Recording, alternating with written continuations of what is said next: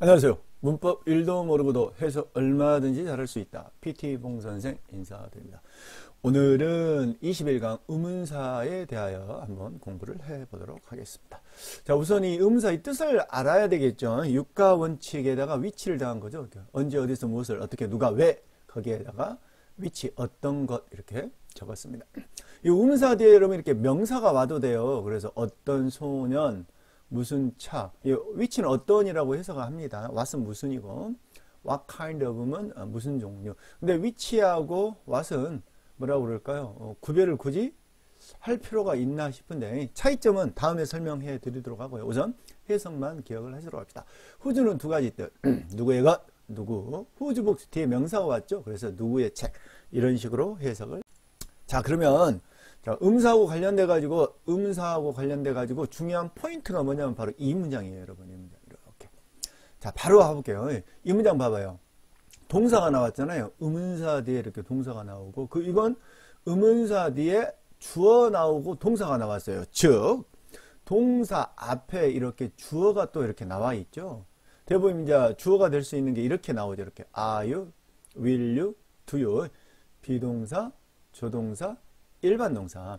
이렇게 동사 뒤에요 이렇게 동사 뒤에. 아 동사 앞에 음사가 바로 나오면 이때 음사는 늙은이가로 끝나야 돼 이렇게 늙은이가 이렇게. 그러니까 누가 사랑하니 너를 이렇게. 그런데 뒤에 이렇게 동사 앞에 이렇게 주어가 나오잖아. 그때 후는 을를로 해석을 해야 돼. 그래서 누구를 너는 사랑하니? 이런 뜻입니다. 이해가 되나요? 한 번 더 해볼까요? 자, 한 번 더 합니다. 동사가 이렇게 나왔는데 동사 앞에 바로 이렇게 후가 나오면 이때는 늙은이가 그래서 누가. 근데 똑같은 후인데 동사 앞에 이렇게 주어가 나온단 말이야. 이때 나오는 주어 이때 후는 누구를 이라고 해석한다. 그래서 누가 사랑하니 너를 이런 뜻이고 이건 누구를 너는 사랑하니 이런 뜻이라고요. 이해되나요? 자 이거 봐봐요. 이거 무엇이야? 무엇을이야? 당연히 주어 동사, 동사 앞에 이렇게 주어가 있으니까 무엇을 너는 원하니 사기를 이러고 그 다음에 뒤에 이렇게 명사가 와도 된다라고 그랬죠. 그래서 무슨 책을 너는 원하니 사기를 이런 식으로요. 자 밑으로 내려와서 연습을 좀 해보도록 하겠습니다. 이제 오늘의 포인트는 이겁니다. 이게 가장 중요하다라고 얘기했죠. 그래요? 자 인바이트는 초대하다야. 그래서 늙은이가로 끝나야 되겠죠. 왜냐하면 이게 동사니까. 그렇죠? 그래서 누가 초대하니 너를 끌어야 되겠죠. 전치사 앞이니까 to the party 그 파티에. 반면에 이때 후는 whom하고 똑같아요. 누구를이야. 누구를 너는 초대하니 그 파티에. 그래서 whom 대신에 이렇게 who를 써도 상관이 없다. 똑같습니다. 2번. 자, 바꿔놨죠. 이게 주어야. 그 다음에 이게 동사야. 동사 앞에 이렇게 동사 앞에 주어가 끼었으면 을을 무엇을 너는 만드니 행복하게. 자, 동사가 바로 나왔다. 늙은이가 무엇이 만드니 너를 행복하게. 여러분 멈춰서서 스스로 해봐야 됩니다. 자, 음사 뒤에 명사가 올 수가 있다. 어떤 소년, 을이까 이까. 동사가 여기 있는데 앞에 will 주어가 끼었네. 이게 동사고 그러니까 을을. 어떤 소년을 너는 선택하니 어몽댐 그들 사이에서. 자, 의문사 뒤에 명사가 나올 수 있고 바로 동사가 나왔으면 늙은이가다. 어, 아, 늙은이가다. 어떤 소년이 선택했니? 너를 다섯 명의 소녀들 중에서 추주에 가고 초우주죠. 자 마지막 5번 하나 더 해봅니다. 누구의 것? 혼자 쓰이면 누구의 것? 누구의 것입니까? 이 책은. 자 뒤에 명사가 올 수 있다고 그랬죠. 음사 뒤에 누구의 책입니까? is this 이것은. 여러분 설명을 들었죠. 반드시 멈춰 서야 되고 의문사를 포함한 이 단어 암기하셔야 됩니다. 자 여러분 밑으로 내려왔습니다. 하우의 두 가지 해석을 한번 해보도록 하겠습니다. 여러분 이제 하우는 하우가 혼자 쓰일 때는 여러분 어떻게 어떤지인데요. 적어보세요 여러분이 이게 어떻게 쓸 때는 앞에 나온 동사가 일반 동사야. 이게 일반 동사잖아. 이 동사가 일반 동사 이렇게. 그러면 어떻게 너는 느끼냐. 근데 우리 how are you라고 이렇게 쓰잖아. how are you? 어떠니? 그때 비동사와 함께 쓰이잖아. 그러면 어떠니에요. 아시겠죠? 그 다음에 이제 이걸 설명하려고 그랬죠. 이거 how 뒤에 형사나 부사가 와요. 그럼 이제 how의 뜻은 뭐다? 얼마나 라고 해석을 한다. 그러니까 how는 혼자 쓰이며 어떻게 어떤지 뒤에 이렇게 형사가 왔잖아. 그럼 얼마나 넓은 얼마나 넓은 이렇게 해석한다. how 에서 얼마나 빠른 이렇게 해요. 자 1번. 어떻게 너는 느끼니? 얼마나 빨리 그녀는 달렸니? 이렇게. 자 이제 연습을 해보면 되겠죠. 연습을 한번 해보도록 하겠습니다. 어떻게 너는 도착했니? How가 혼자 쓰였다? 일반 동사다. 이 동사가 be동사가 아닌. 그래서 어떻게? 어떻게 너는 도착했니? airport 공항에. 얼마나 빨리? How 대형사로 해서 얼마나 빨리 너는 도착했니? 그 공항에 3번 갑니다. 혼자 쓰였잖아요. 혼자. 혼자. 어떻게 그녀는 열었니 그 박스를. PP가 나왔네. 고장난. 바이더 영보이. 어린 소년에 의하여. 4번 얼마나 넘니 형사가 왔죠. 얼마나 넘니 너의 TV는 어떤 TV? 너의 집에 있는. 음사가 약간 할 게 좀 많습니다. 그래서 약간 멈춰 약간 제가 빠르면 멈춰 세우고 여러분 멈춰 세우고 연습해 보세요. 이거 후 이거 어떻게 여기 동사 있고 이게 주어 있잖아요. 이렇게 이게 뭐예요? 늙은이가다 을르리다 누구를 너는 만났니 어제 그죠? 이건 동사가 바로 나왔다. 이렇게 그럼 늙은이가 누가 만났니 너를 어제 오늘 제가 가르치고 싶은 포인트가 이거다고 했죠. 이거 그죠? 구별해야 됩니다. 왜냐면 다음에 관계대명사 편에서도 이게 중요합니다. 자, 동사가 나왔다. 누가 플레이 했니? 사커를 넣어. 됐죠?